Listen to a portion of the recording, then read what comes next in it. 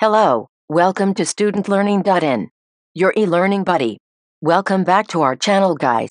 If you are new to this channel, please make sure to hit the subscribe button and press the bell icon to join the family. Today I am going to explain hands-on session of decision tree in machine learning. In here, we're gonna do a prediction model on the basis of accuracy.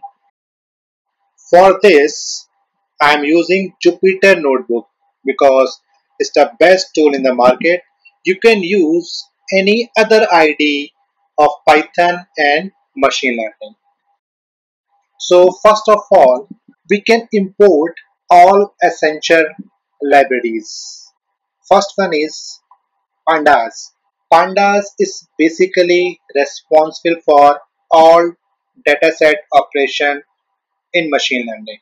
NumPy. NumPy is used for numerical analysis. Matplotlib is used for some 2D and 3D graphs. Next is sklearn.tree import decision tree classifier. Decision tree classifier is basically used for all mathematical operations. Next is sklearn.metrics import accuracy underscore score. This library is basically used to find out the accuracy of current dataset. Next is sklearn import tree. Tree is basically used for draw a diagram in the form of root, node and leaf. Next is sklearn.model underscore selection import train underscore test underscore split. This library is basically responsible for the entire data is divided into two parts training set or testing set. Next is ipython.display import image. This is basically to create a image in pandas. Next one is sklearn.tree import export underscore graphviz. This library is basically used for graphics in machine learning. And last one is pydotplus. Pydotplus is very important libraries of pandas. After that, we can import the dataset with the help of read command. That is very simple. You can write df is equal to pd.read underscore csv brackets within a code dt.csv. csv is the name of source file. After that, there is simple command. We can show few records with the help of df.head commands.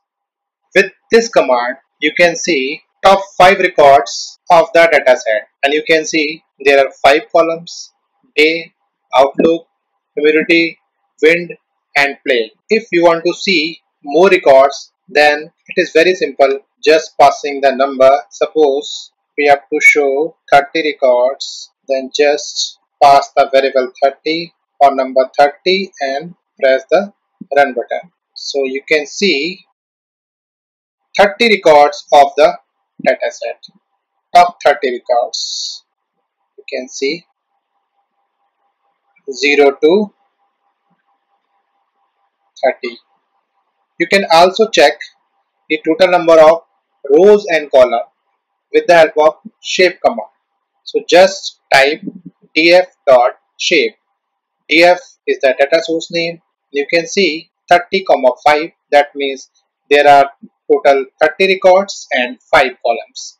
Now next task we have to divide this dataset into two variables x and y. So the value of x equal to day, humidity and wind and the value of y is play. This is the most important part of decision tree that is x and y. After this task, we can divide entire dataset into two parts that is called training set and testing set.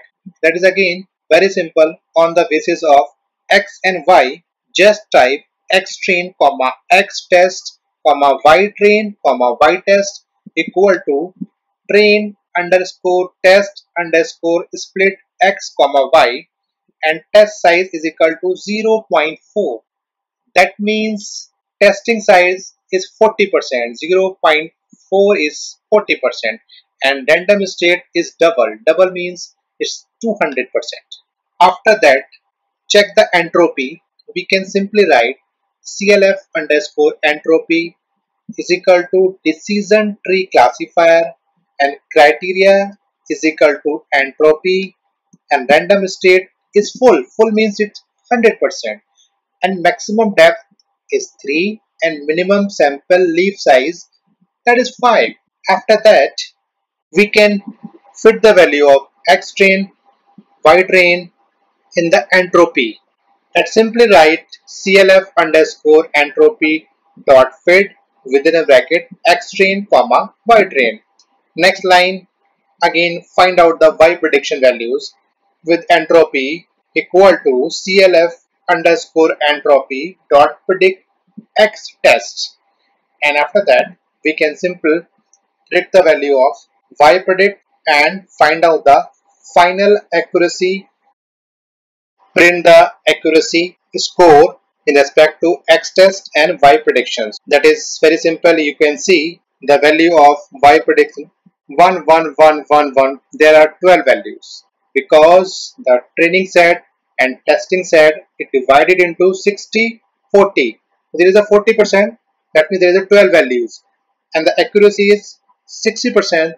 That is uh, not best 66 percent is acceptable.